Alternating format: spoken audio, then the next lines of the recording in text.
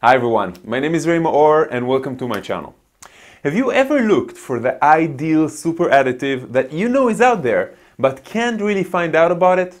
In this video, I'm going to share with you my top two picks for something that is way beyond the regular superfood or super additive. As someone that likes to try out everything, getting my top picks means that I'm putting years of research into just a few minutes of video. Now, these super additives not only allow our body to receive more nutrients and healing, but also allows a deeper connection to the divine and helps us achieve like something that is called superconductivity, which basically connects us to the universe. Now, I've used both of these myself, so I've witnessed firsthand what they can actually do. And this is what I want to share with you in this video. So, stay tuned.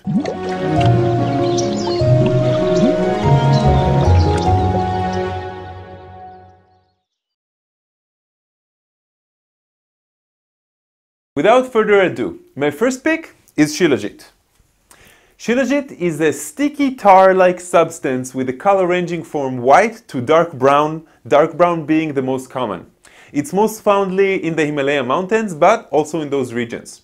I found this stuff when I was actually researching more about Breatharians, uh, the Breatharian Hindus from India, those people that live in caves for many, many years without almost any physical nourishment. Shilajit contains 85 minerals in ionic form and humic and fulvic acids. Although it's more popular in Russia and in India, Shilajit is hardly known in the West.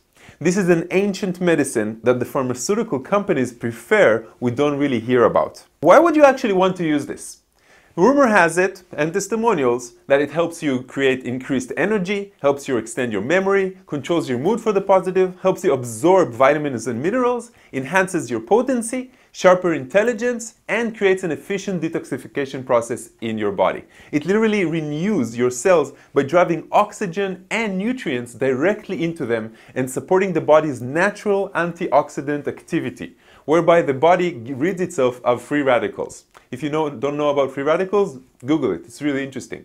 Now, traditionally, Shilajit was described as a yoga vahi, meaning that whatever is taken with it will be enhanced due to its ability to bring any nutrient into solution and drive it into the cell. In one study, CoQ10, which boosts energy in heart, liver, and kidney cells, and also enhances your uh, brain activity, was actually enhanced by 29% with the addition of Shilajit. So how do we use Shilajit and what does it look like?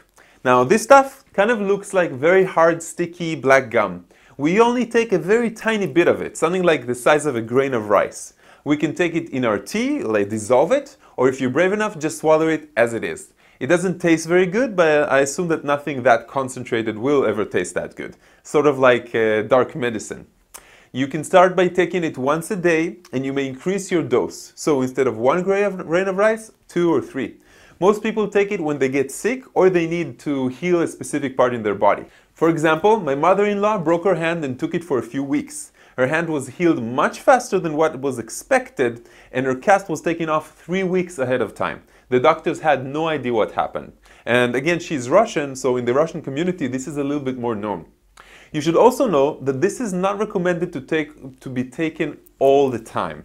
It's quite powerful, so you don't want your body and your immune system to get used to it. It's sort of like uh, it's sort of like driving with training wheels. Eventually, you want to take them off. From all different theories of how Shilajit was actually created, I connected the most with a story that about 50 million years ago, the Indian continent collided into Asia and formed the Himalaya mountain range. Now, every year, uh, as the mountains actually formed, tropical forests were crushed and compacted between massive boulders, sort of like uh, the story of oil.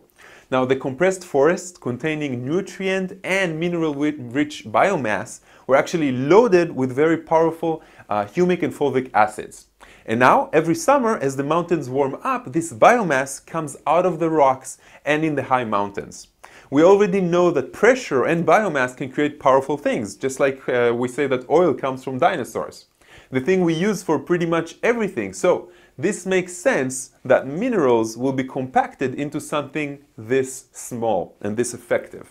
Now, our second selection is Ormus. Almost no one knows this stuff. Ormus actually stands for orbitally rearranged monatomic elements, also called white gold. and this is the powder that you can actually buy online. Ormus is what is referred to in the Bible to as manna, due to this texture and the way that it actually looks like. In other words, the manna that God gave the Israelites when they left Egypt. Like I said, you can make this stuff at home or you can buy it online. I used to make this stuff myself and there are plenty of how-to videos online on YouTube. However, now that I just buy it whenever I feel like having more, I do have a profound spiritual awakening periods.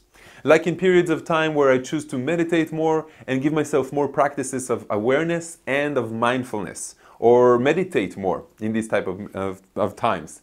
Lately, I don't really have that much time because I have a baby. now, chemically, Ormus is supposed to be precious metals, gold, platinum, iridium, in an exotic state of matter, where the metals do not form any bonds or crystals but exist as separate single atoms. Now, in the same time, it's supposedly the material that the soul or life force of all organisms is made of, uh, sort of like an essence of life, a conductor of prana. Now, here's just a few of the reported things that Ormus can supposedly do. It can cure many, many forms of disease. Uh, it serves for anti-aging. It corrects error in the DNA. It can act as a superconductor. That's why it's so spiritually connecting. It also has a sort of like a weigh ability that is different from mass itself. Uh, in other words, it's different from gravitational mass. That's what makes it unique. Now you can check out many videos of people that have actually decided to take Ormus for a long period of time and most of them report an increased sense of awareness. Check out the different testimonials, just Google them. Now from my own tryouts, I can say that I used Ormus for about two consecutive months and I had majorly deeper meditations. Plus, for a time, I also felt like I'm floating and stress-free. Now, don't go for the cheapest stuff you get it's probably counterfeit or of low quality. Really, if you do buy it online, buy from where you see other people that have left really, really good comments or where your intuition tells you to buy from. If you have had any experience with Shilajit or with Ormus, please write it down in the comments. Let us know, let us all learn from your own experience. So to summarize everyone, first, I want you to have a good time with these two things. I would first go for the Shilajit, and then I will try to make my own Ormus, and if not, I would always buy it online. If you enjoyed this video, please like it and subscribe to my channel. Namaste my friends and I will see you in my next video.